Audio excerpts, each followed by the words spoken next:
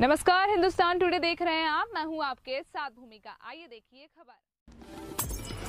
नसलागंज से बड़ी खबर, कोरोना की तीसरी लहर की आहट हुई है। छिंदगांव मोजी में 18 साल का नवयुवक निकला पॉजिटिव भोपाल के चुराई अस्पताल में है भर्ती।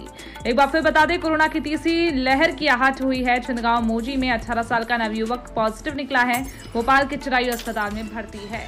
Bureau report, Hindustan today